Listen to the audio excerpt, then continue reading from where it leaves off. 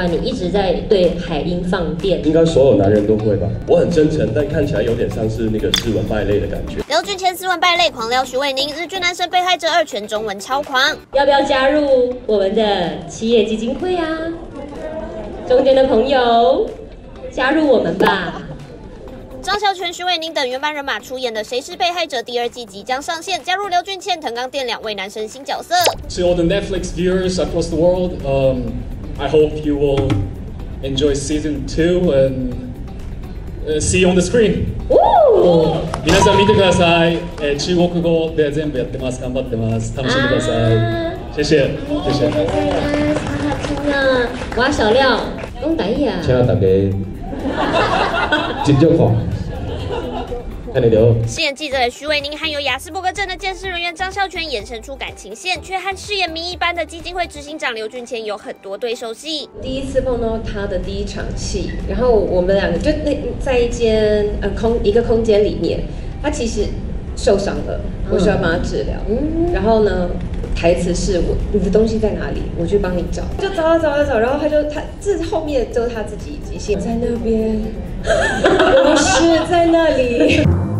你一直在对海鹰放电，应该所有男人都会吧？我觉得不用做太多，真诚就可以了。我的武器就是我的真真诚，但是不知道为什么，可能因为我我本人的关系吧，我很真诚，但看起来有点像是那个斯文败类的感觉。台词很多哎，我以为我要演演的是从日本就是过来的日本对检察官，然后结果看了那个日本的时候，都是就是全中文，吓到。